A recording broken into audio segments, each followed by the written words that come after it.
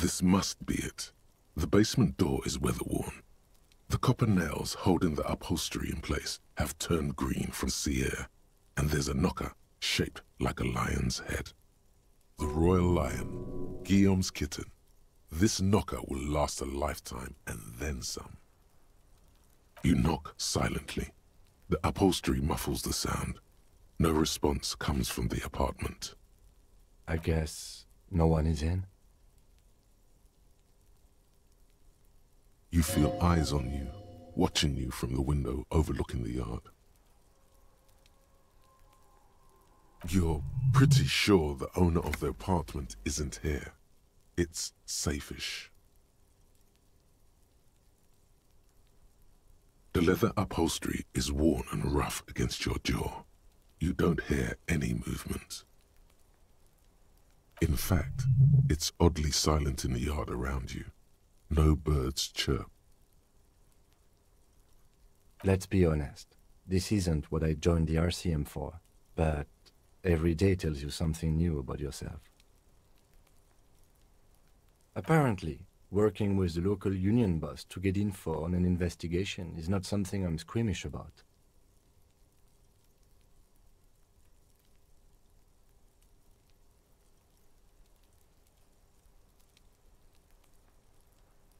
If the Merc Tribunal happens before we solve this, we are looking at casualties. What's one unlocked door compared to that? On the other hand, we could just leave and tell Evrart we opened the door. No one seems to be tailing us to see if we actually did it.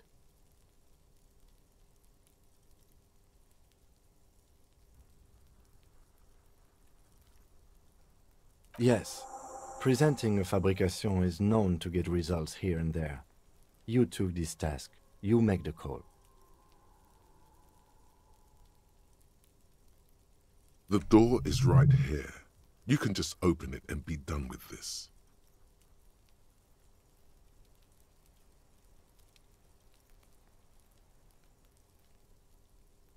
Besides, if you never open it, you're never gonna find out what's behind the door. I don't know. You're a pretty good liar. Are you as good an infiltrator as you are a liar?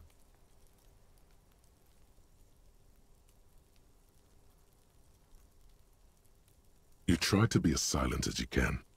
It takes a bit of rattling of the handle to loosen the bolt. Finally, the door unlocks with a small clack. Thoughts race through your head. The sound of the key turning still echoes in the yard. Hopefully no one heard.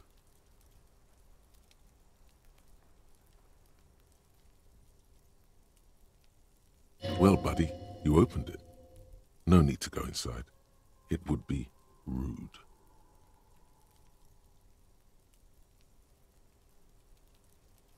Good job. Let's go now.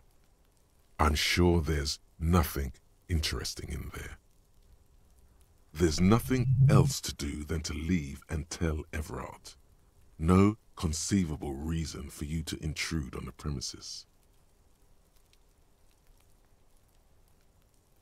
Only curiosity could account for stepping over that threshold. Maybe there's treasure in there. A white alligator. A fountain of quicksilver.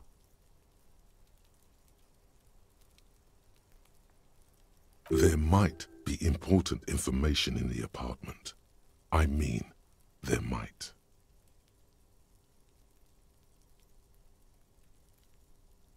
As you hold the open door, you can feel the air moving. A little draft, a whistle.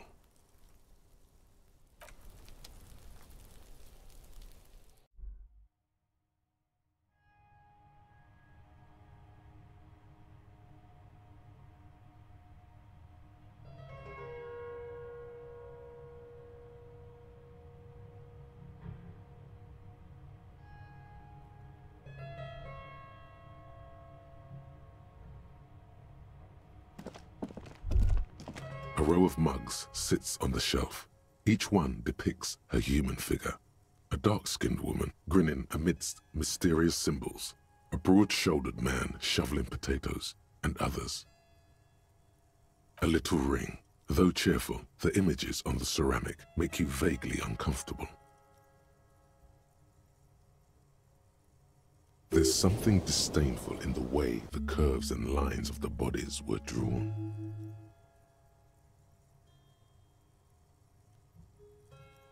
The images betray a lack of interest in human beings. They are merely unflattering caricatures.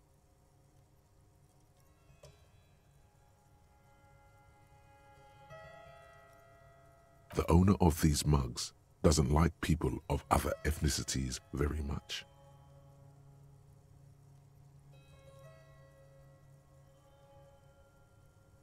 This person is unhappy.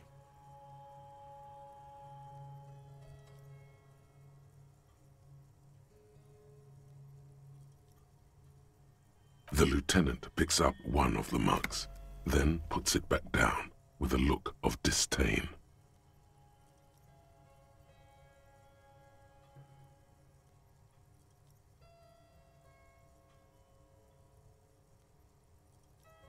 I'm beginning to feel better about breaking into this man's apartment.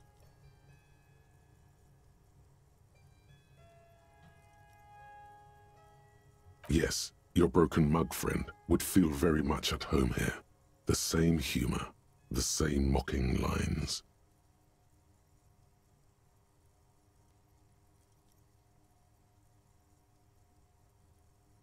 There's the missing tin soldier.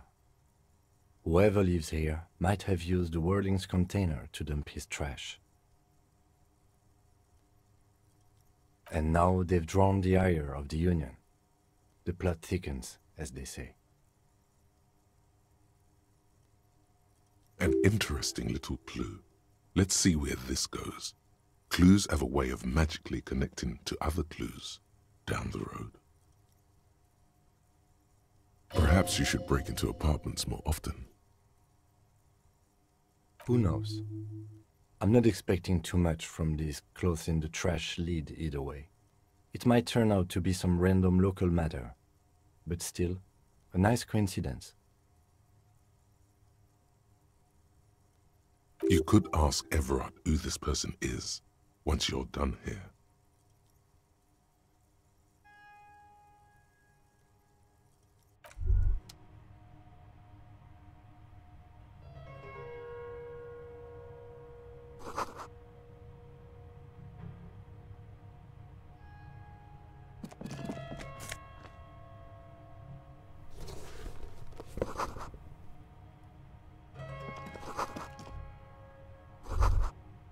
This is the flag of Revachol, the suzerainty. This isn't just one sun, but there are little suns dancing around the big sun. This is the sevenfold sun miracle. It's an optical atmospheric anomaly the first settlers saw. Happens in cold weather. Six small suns around the big one. This complex halo phenomena is how old Revachol got its flag. It is but one of the many strange optic atmospheric phenomenon of this wondrous archipelago. You're sure you once saw sundogs in your youth and blue flares.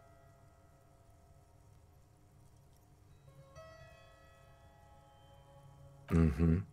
The tenant is an old-fashioned guy. By old-fashioned, he means very right wing.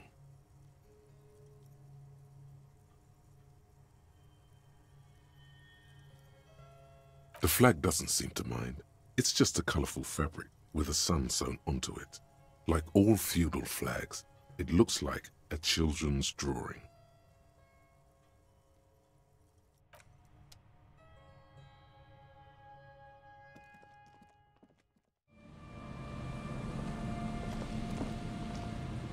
Hello, I'm Gary. Very generous of you to help us out, officer.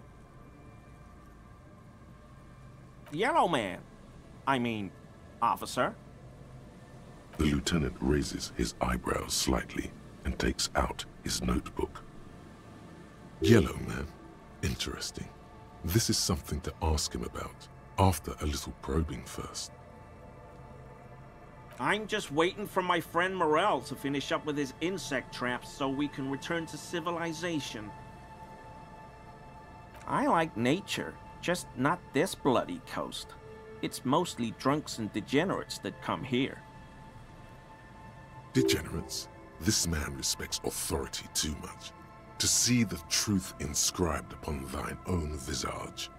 Pretend thou art a paragon of virtue.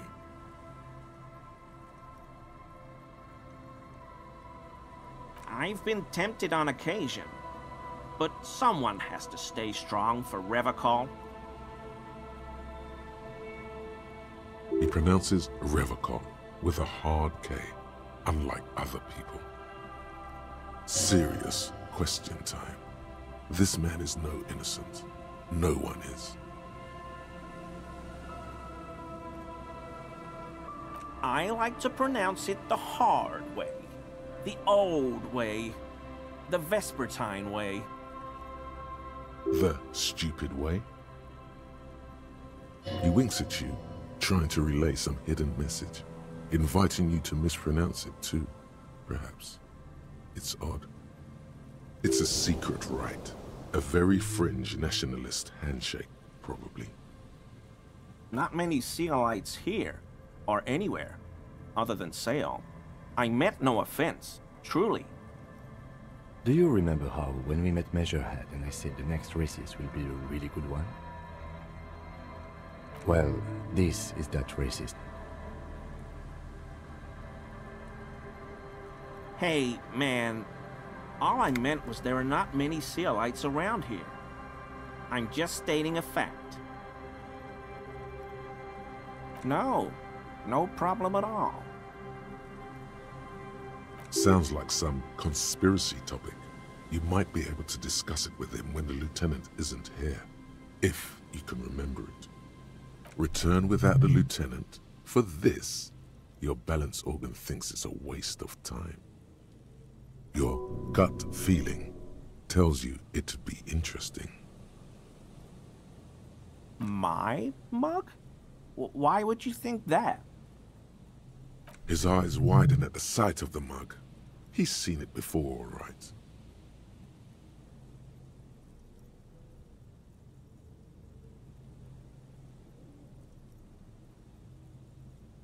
How do you mean?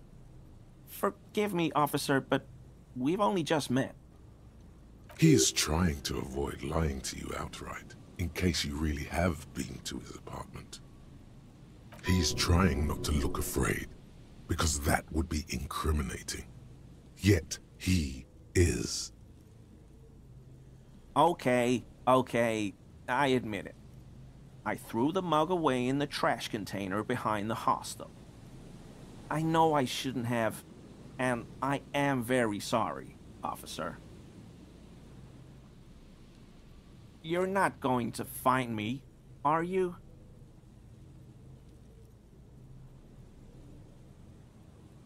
Whew. Thank you. You won't regret this. I won't use another man's property to dump my garbage ever again. I don't know what got into me, really. Work has been stressful lately. Damn Koiko's price dumping us out of competition. What did you do, Gary? Nothing. Nothing. Just answering some questions. Helping out the law. Here we go. Start pumping that sweet info. I know a guy who works with the trash collection services. CS Municipal. He gave me a master key for the trash containers of Martinez. So I can use the Whirling's trash compactor to store my own stuff. Garbage disposal is expensive as hell. The damn Hemians run it like a mob. I'm sorry, okay? I thought I could cut costs. I shouldn't have. I shouldn't have disgraced myself. Disgraced? No need for the histrionic, sir. It was, after all, just a trash container. He studies his reaction. Gary doesn't answer.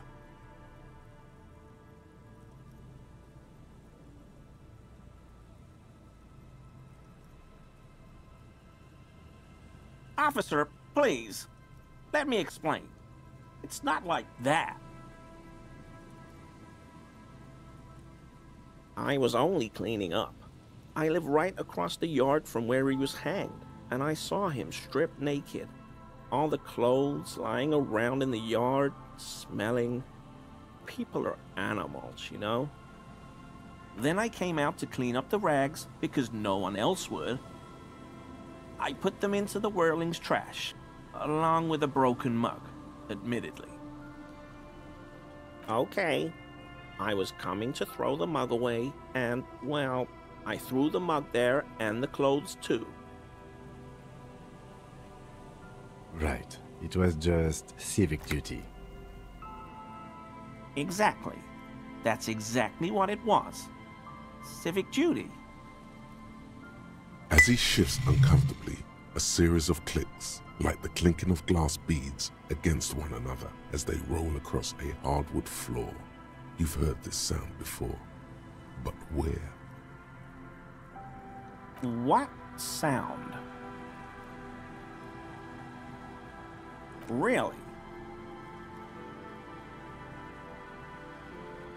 There's lots of weird stuff out here in the reeds, though.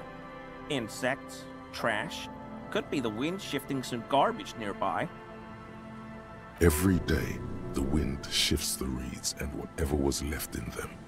Tambourines and condom wrappers, plastic and glass bottles, the smell of decay. The sound you heard was not the sound of something easily abandoned. Armor? No. I, I mean, yes. Of course. I know he was wearing armor, but I don't know anything about it.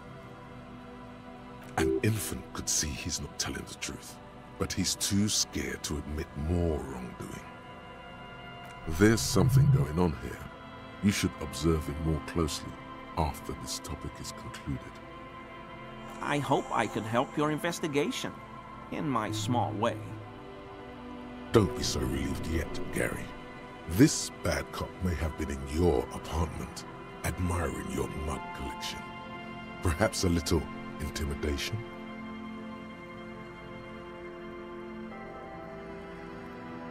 I told you everything I know, sir.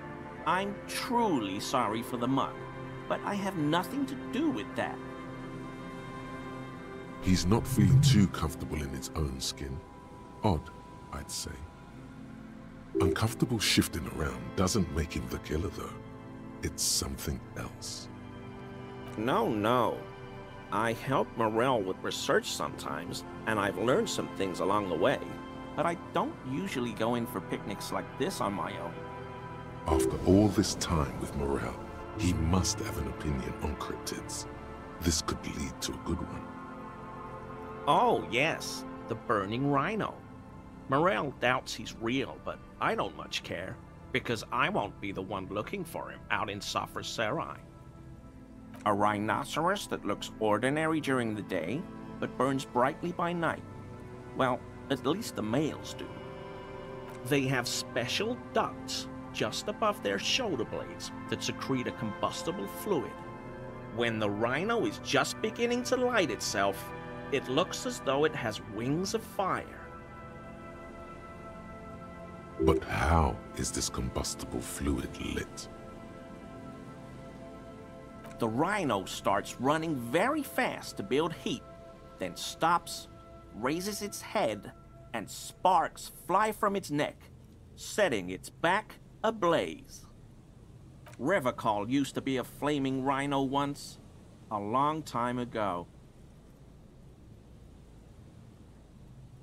The flames are not just for decoration. They are an integral part of the beast's mating behavior.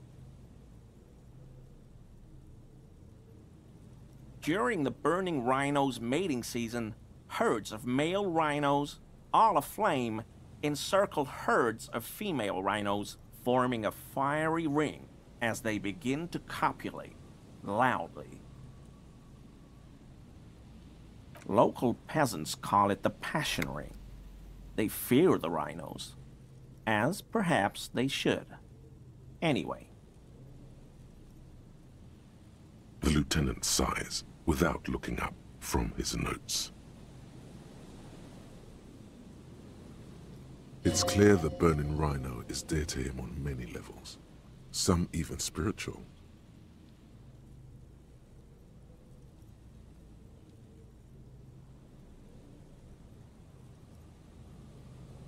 Sure do, officer. His eyes narrow slightly. He's wondering where this is going. Mr. Evrart? So you work for Evrart Claire? Officer, please tell him we're good. No, no, tell him I'll make it up to him.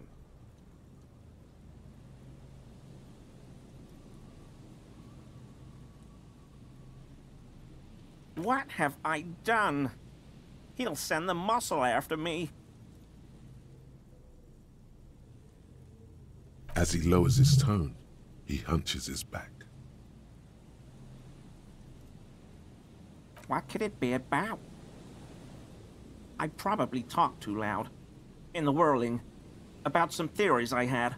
Whatever it is, I'm done with it. I won't do it again. If there's anything I can do to assist you, or the Union, just ask, okay? I'll try to help if I can.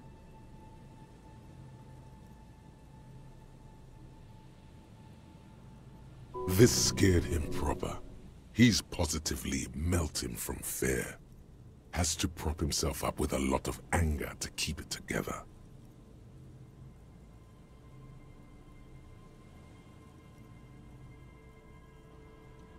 The weather vane has turned. He cannot be unturned.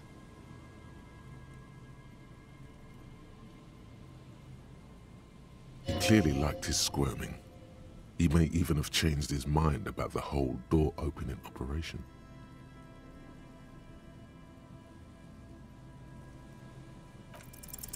That shirt looks very uncomfortable on him. Look at the buttons, barely keeping that thing together, as if something is ready to rip out from underneath. No, he's scrawny. Try again. Yes, like a piece of ceramic armor, for example. One that makes a clicking sound when the plates meet each other, resembling pearls or marbles, stolen from the corpse in the yard near where he lives. I knew you'd figure it out, officer. I'm sorry I didn't tell you at once. I was. I was ashamed of what I did. And I didn't want you to know.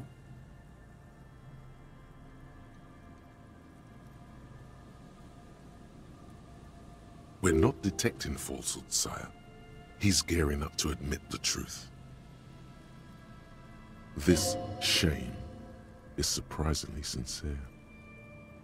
Gary, what's going on? Later, Morell. I've got apologizing to do.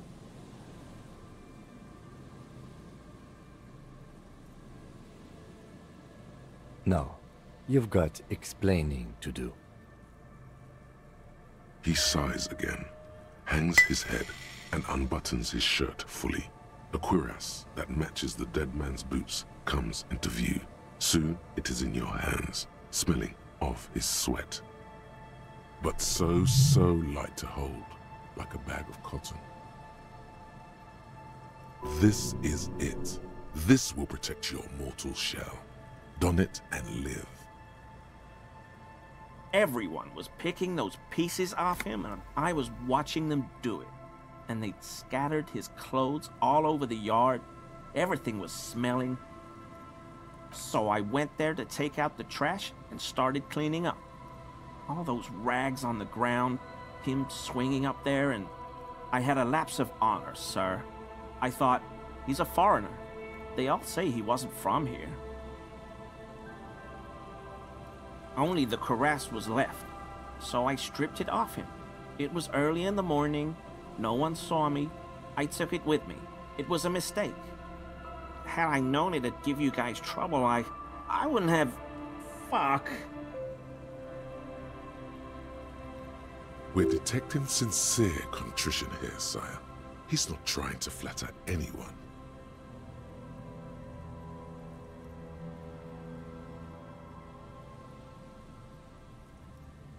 It's okay. It was a loose end, and you are tying it up now.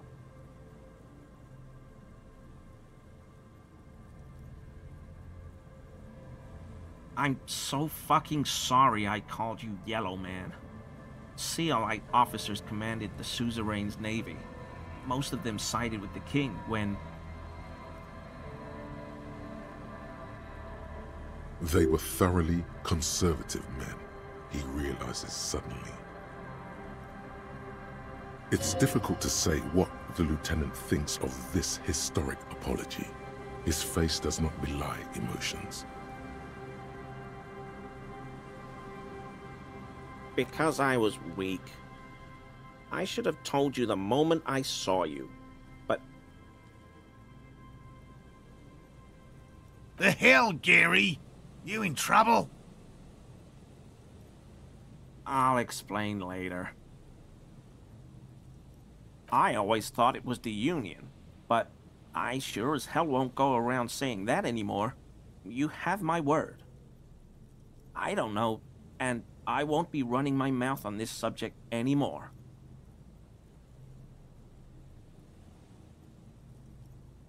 This is all he knows.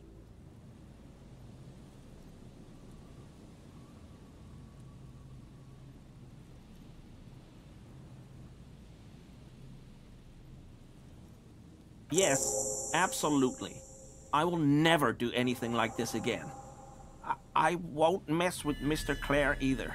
You have my word.